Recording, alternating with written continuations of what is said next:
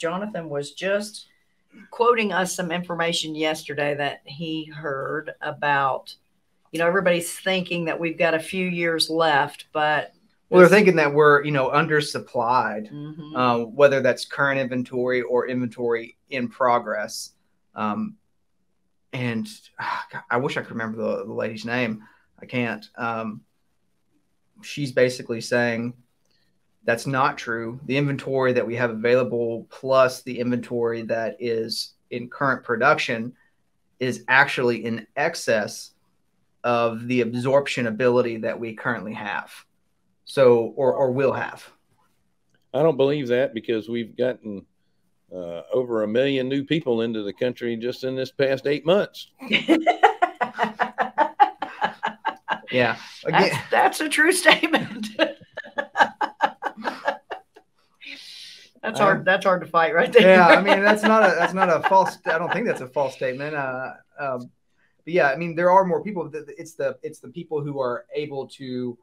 Uh, it's twofold. It's you know to fill in those those rentals.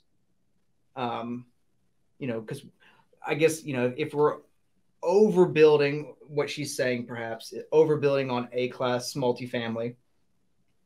There's going to be be there. Of those of those million people that are added, how many of those are going to go into A class top of the rents facilities? right. Right. Probably. I mean, probably not not most of them. Mhm. Um, Yeah. So so we could have an we could be overbuilding, oversaturated on that front. Um, the the the one that I wanted to read in more detail is you know she's also saying on the single family side as well, which is a harder pill for me to swallow because I'm like, man, is that true? W- now, would I say that it's oversaturated potentially for first time home buyers? No. Is it oversaturated for um, people who are looking for like their second, third, or fourth home?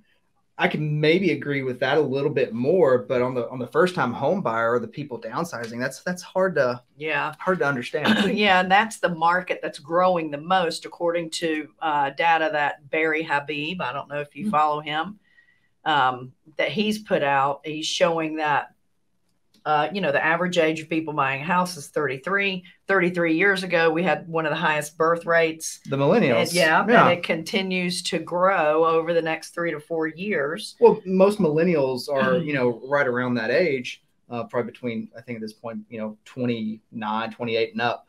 Um, they're getting into that, you know, where they want that house, that fa- perhaps that family. Mhm. Um, if not, you know, at least a dog or two where they can run around. Yeah, yeah.